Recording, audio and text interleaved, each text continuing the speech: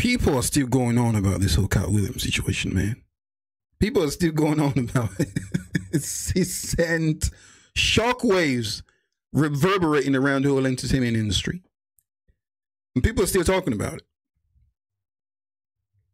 I never really had an issue with like what anything he said pretty much. Well, the only thing I had an issue with was him talking about Rickey Smiley's uh, losing a kid and then kind of insinuating that was like a sacrifice or something. I felt that was too far. Like, bro, on, slow down, man. I was with you until now, you know. But the fact that there was stealing his jokes and all that stuff, I can understand if he's bitter about that and wants some get back because they've been going around insinuating he was crazy. So you're not going to sit back and let someone call you crazy without you saying something. So let's see what bro uh, Corey is going to say about this. So I'll let the video play a little and then I'll chime in from time to time. Let's see. Katt Williams is necessary. Katt Williams is necessary. This motherfucker that shook up the whole shit. I know this shit need to be torn apart and rebuilt. I'm talking about the comedy, the comedy game, the shit that people don't know. Yeah, yeah but he re he shook this motherfucker up. He necessary, and I know and some people gonna be mad at me for saying that, but also my nigga Katt Williams is crazy little motherfucker. this is the Joker off the Batman, the Dark Knight. Yeah, yeah, Katt Williams is the Joker, nigga. I'm an agent of chaos. I say it's brilliantly crazy. You can call him brilliant. I, I, I know that he's got brilliance to him. Oh, he's yeah. also got. Oh yeah, he's brilliant. He's one of those people where you don't know what you get with him. You might get him in his good day, and you might get him in his not so good day. he's just one of those people.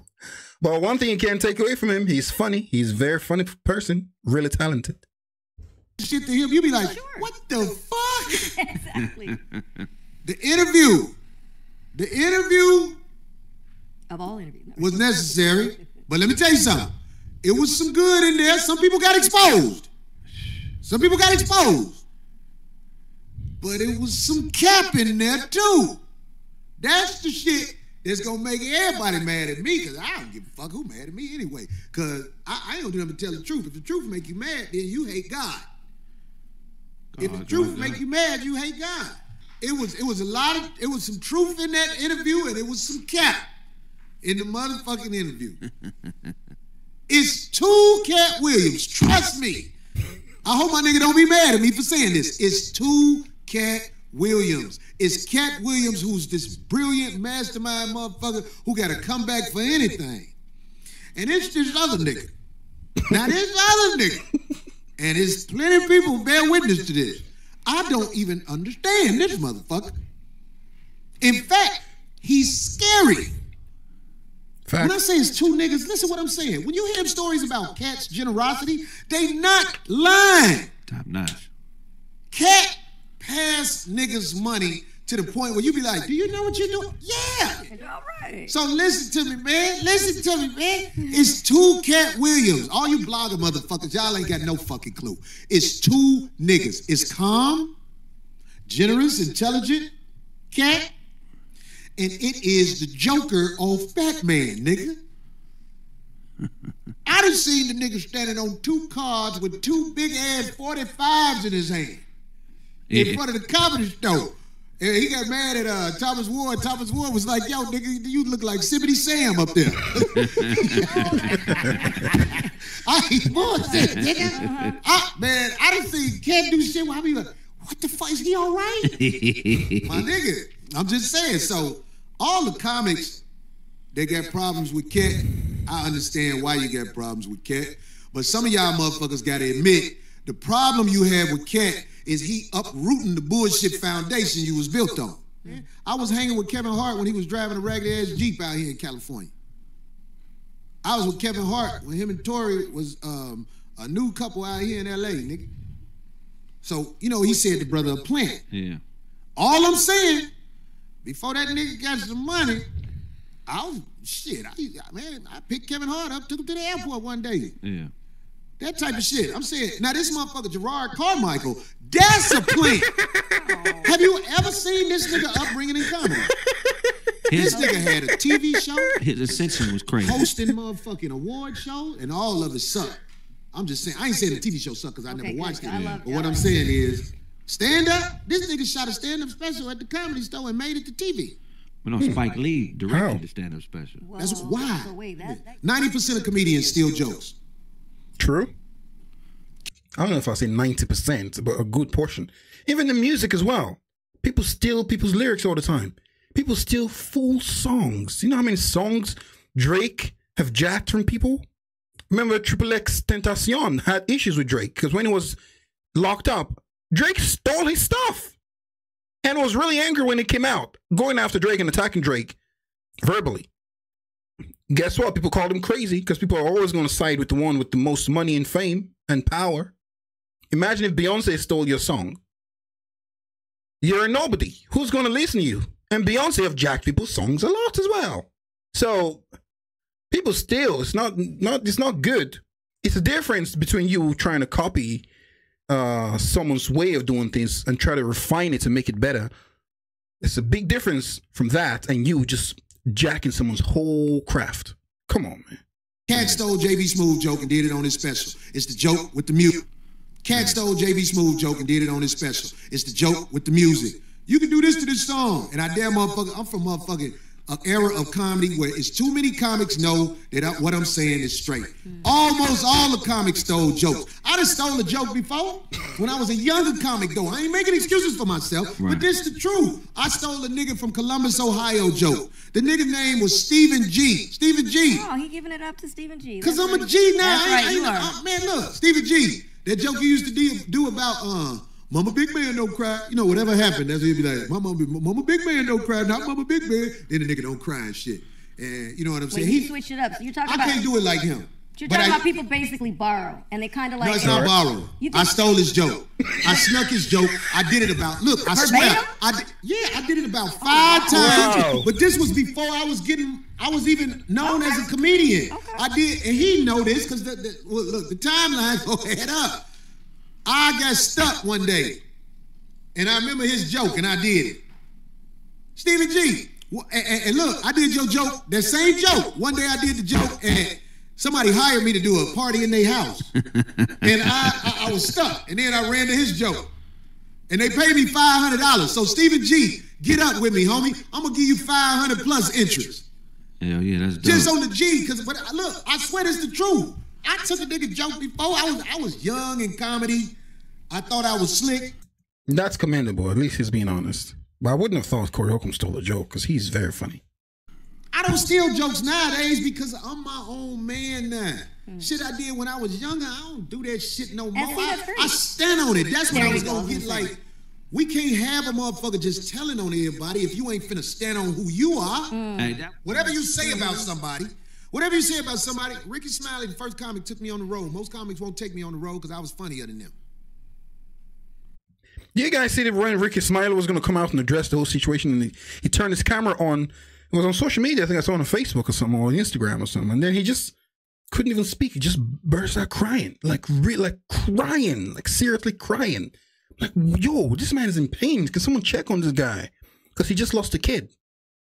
So he's he's in pain, man. Y'all take it easy on him. What?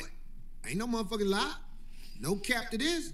That's when I found out about JB Smoove. When Rickey Smiley took me on the road. I didn't know who the fuck JB Smoove was. I was like, who is this motherfucker? It's a lot of comics owe JB Smoove money.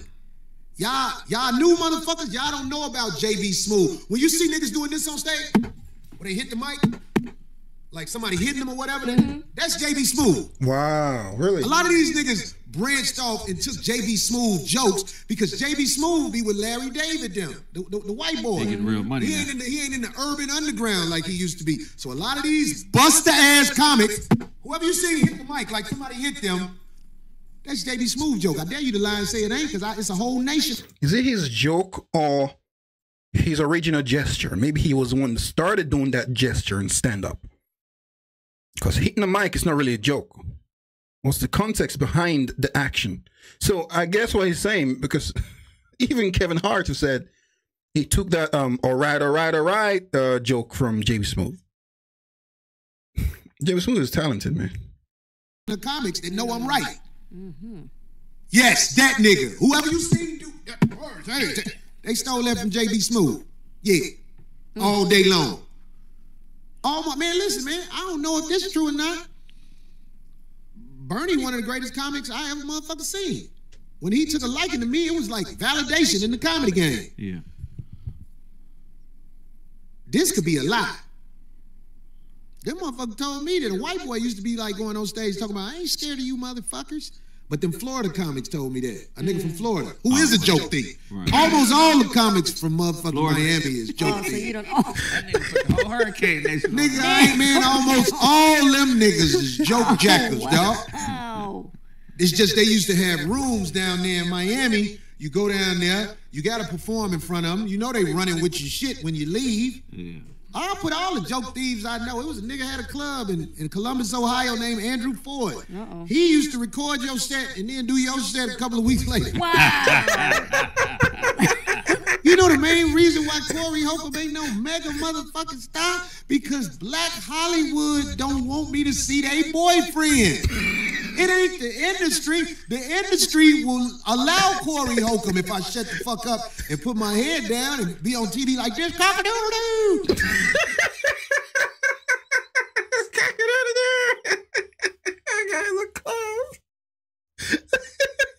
and put my head down and be on TV like this. Cock-a-doodle-doo. If I do that, they'll let me in. Black Hollywood is scatter Corey Holcomb because all these niggas in Black Hollywood on the backdooria side of the game. Oh, And they don't want me to see their boyfriends. And I think that's discrimination. Dick in 'em nation. Dick in Nation. Him downstairs. Their Dick in 'em nation don't want me to be around that. Hey, mm-hmm. if you really gonna be the shepherd of men, we gonna step back and respect you because you polarizing, my nigga. Niggas love Katt Williams. He a little nigga. All them mm-hmm. little niggas, people like him. Right. You can't be hypocritical. You can't be you uh-huh. can't be ugly and be a leader. Listen, you can stand up and be something that people really motherfucker be like, okay, but see, you also gotta remember, us niggas in the comedy streets, we know what's up. I'm rooting on you, black. Stand up and tell the shit you did, nigga. You done done some shit out here, nigga. you gotta put it out there. Cause all that shit about being a humanitarian in Haiti and all that shit, that's good. No, but that was his family, his parents. That's why he left. Well, that's what I'm young. saying. He it's was like really young. When you yeah. young, we talking about who it is nowadays and when you're young. Nigga, everybody ain't young. When I was young, I pulled my dick out on a bitch. Jesus Christ. I'm saying I made mistakes. We all you can't say all the good shit about what the fuck it is. Nigga, it's fucked up shit with everybody. All us fucked up. We entertainers. We are mentally fucked. But I like the fact that you uprooting them niggas. Mm-hmm. I'm not talking about no nigga in particular. You really uprooting the game. Keep on uprooting the game with these motherfuckers standing on mm-hmm. fake foundation. I like that. It's necessary. You know what I'm saying? But my nigga, come on, kid. You know you're a wild boy, my nigga. Come on, my nigga. Come on, my nigga. because the fact that he can be a loose cannon every once in a while doesn't mean he doesn't speak the truth. That's one thing about people that have like very loud personality. When they actually when they're serious about something, people don't necessarily take them seriously. They think they're just being gimmicky. Or just being the usual crazy self. I got respect for you as a comedian and everything, but nigga, you telling on motherfuckers and acting like you. Nigga, let me tell you something, man. I don't give a fuck who get mad. All my niggas who ain't got no teeth got a story about what happened to their teeth that don't add up. But they got this. What are you talking about? One minute he's making sense. The next minute he just goes left. It's like, yo, bro, come on, man. What are you saying? Same behavior. Right. erratic, crazy shit. Yeah. I'm like, nigga, if y'all get the fuck out of here, nigga, I'm in the motherfucking streets with you, nigga. Stop! Mm, right. You got to talk about yourself. There's a scripture in the Bible that says, "How can you talk about the dust in another man's eye, but ignore the plank in your own eyes?" Well put. So you, you can't always look out the window. Sometimes you got to look in the mirror.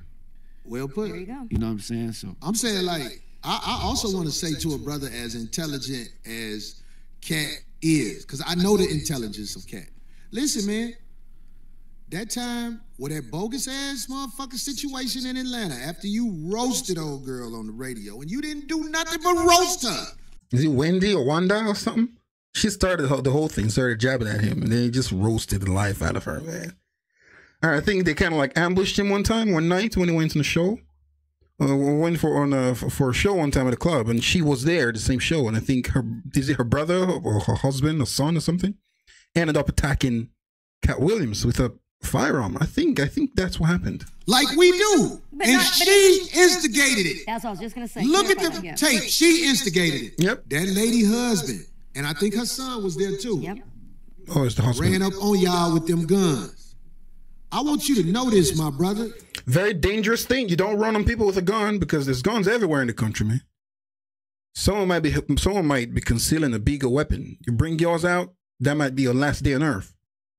People have to be rational thinkers, man. The husband was so emotional. If your wife is a comedian and she's getting roasted by a superior comedian, chuck it to the game, man. Just charge it to the game. It is what it is. You came for the guy and you got roasted the husband, a very emotional, irrational little man child, went and attacked Katt Williams with a firearm. Unbelievable. I saw the video. It's crazy. Notice this, my brother.